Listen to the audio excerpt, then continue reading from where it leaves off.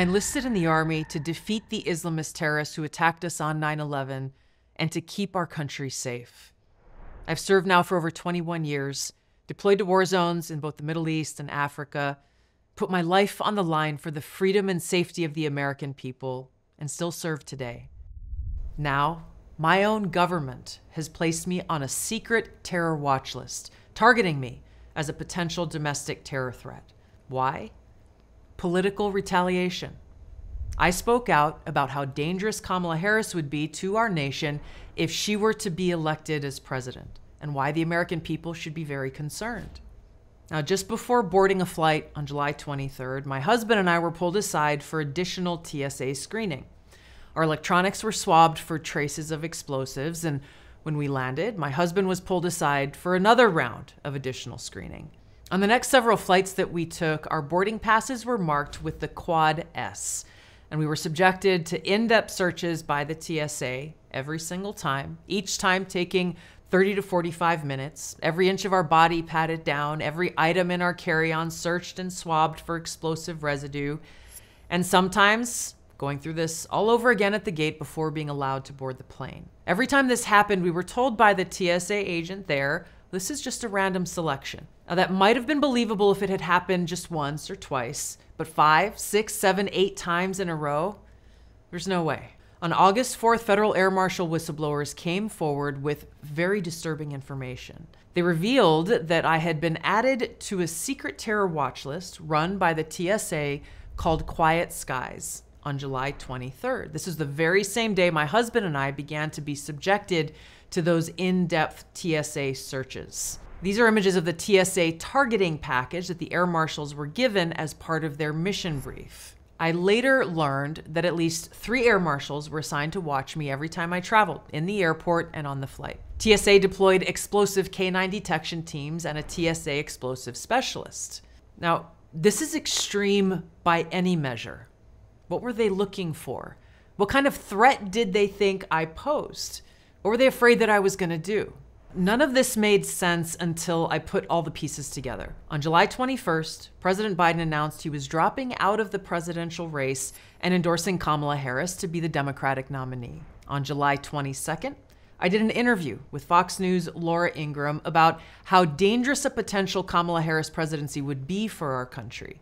Here's what I said Foreign policy decisions are being made by unelected people in the military industrial complex who are profiting from us being in a constant state of war, and the national security state that has more power to undermine our freedoms and liberties when we are in a state of war. Kamala Harris does not have the strength to stand up to the military industrial complex. The very next day, on July 23rd, the TSA placed me on the Quiet Skies domestic terror watch list in what I can only describe as the ultimate betrayal.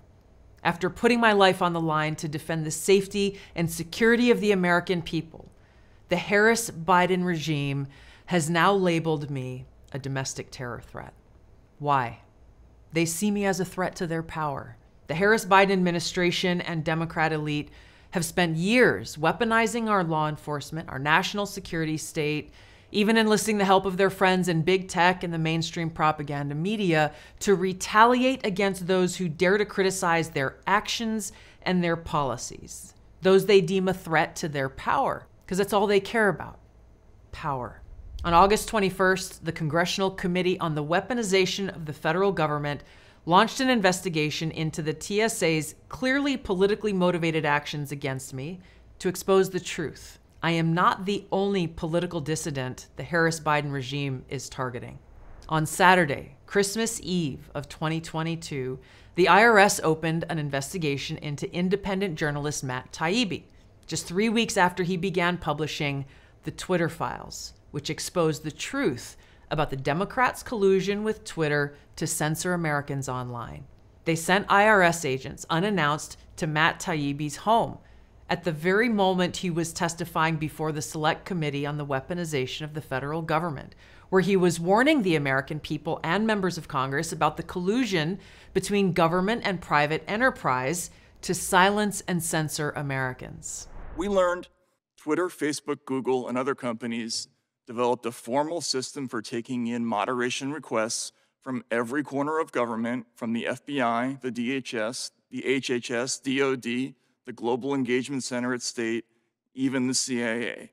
For every government agency scanning Twitter, there were perhaps 20 quasi private entities doing the same thing. A focus of this fast growing network, as Mike noted, is making lists of people whose opinions, beliefs, associations, or sympathies are deemed misinformation, disinformation, or malinformation. That last term is just a euphemism for true but inconvenient. Undeniably, the making of such lists is a form of digital McCarthyism. Now, to take these extreme measures, you might imagine well, hey, maybe Matt failed to file his taxes, or maybe he owed the IRS and the government a lot of money. No, that wasn't the case. The government actually owed him a lot of money. This was a case of retaliation and harassment, hoping that if they bullied and harassed him enough, he might stop exposing the truth. He did not. That same year, the Harris Biden regime also targeted former FBI Special Agent Steve Friend.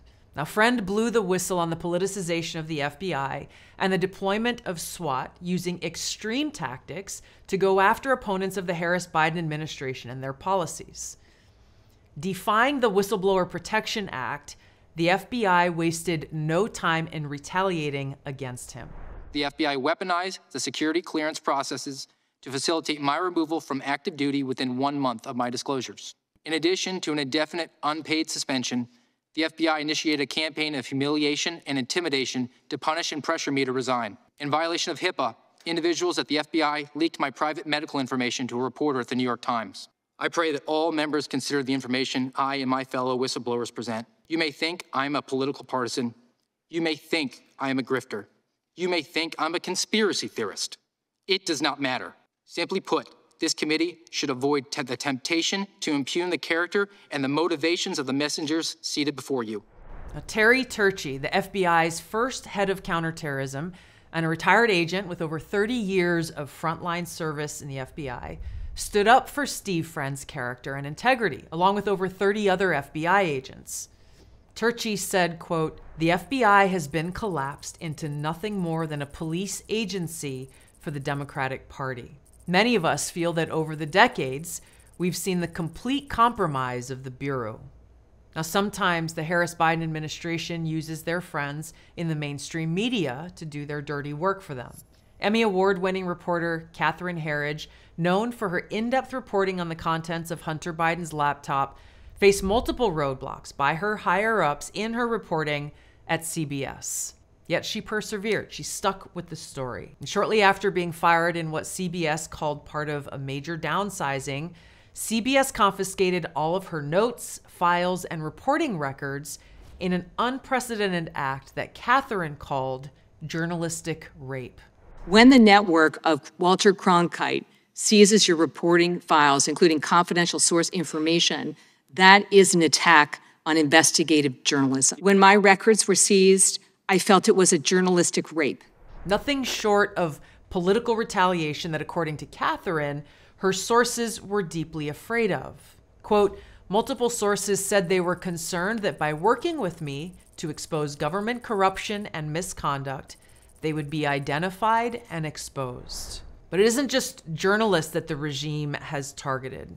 Permanent Washington has demonstrated the true extent of its unchecked abuse of power when it tried to remove a duly elected president, Donald Trump, in his first term. In 2017, President Trump questioned the credibility of the FBI as they investigated him based on accusations of Russian collusion that the FBI already knew were false. Senator Chuck Schumer issued a chilling warning about what happens when someone dares to challenge the intelligence community. You take on the intelligence community, they have six ways from Sunday at getting back at you. So even for a practical, supposedly hard nosed businessman, he's being really dumb to do this. What do you think the intelligence community would do if they were motivated? I don't know, to? but I, from what I am told, they are very upset with how he has treated them and talked about them. Seven years later, and their abuse of power continues.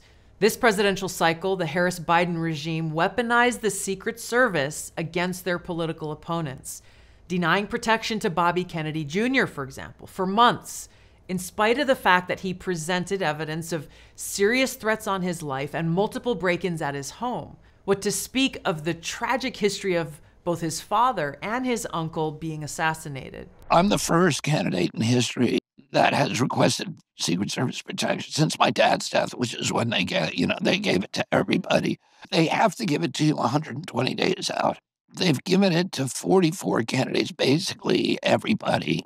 200 days, 300 days. I think Obama got it 541 days out. Jesse Jackson, people with a tiny fraction of my polling. I'm the first one that they've ever denied it to. That's and did they ever give you a reason? No. They put his life at risk because he had the audacity to challenge the Harris Biden presidency. Just think about that. They even denied President Trump's multiple requests for increased security. And what happened as a result?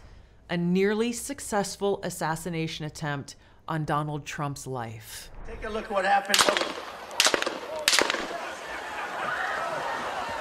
Days after President Trump survived this assassination attempt, still, FBI Director Christopher Wray did his best to try to undermine the surging support for Trump by intentionally sowing baseless seeds of doubt in voters' minds. As I said, I think with, uh, with respect to former President Trump, um, there's it, there's some question about whether or not uh, it's a bullet or shrapnel that you know that hit his ear.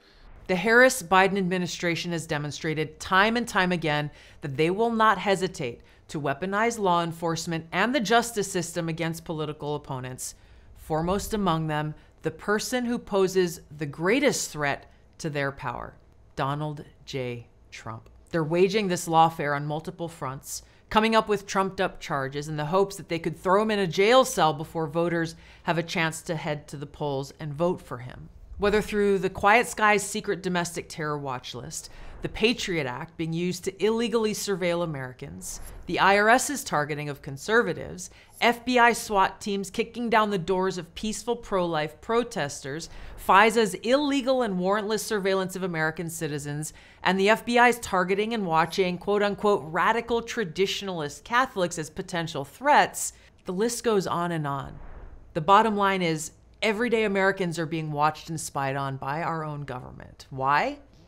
Because those in power see us as a threat and they'll do whatever they deem necessary, brazenly abusing their power to destroy us, silence us, or even throw us in jail. They want to scare us into submission, to self censor, to think twice before we dare criticize the Democrat elite, the Harris Biden administration, the national security military industrial complex. I will not back down. We cannot back down. The American Center for Law and Justice is representing me as I take legal action to fight this unconstitutional retaliatory act against me and my family.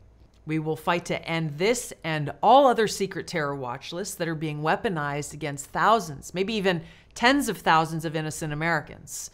No American deserves to live in fear of our own government. We must expose the truth about their abuse of power and hold them accountable. We're facing a critical election. Kamala Harris is the Democratic nominee, and she's proven she will continue to weaponize law enforcement and our national security state to go after political opponents. The propaganda media will continue to support her in her abuse of power.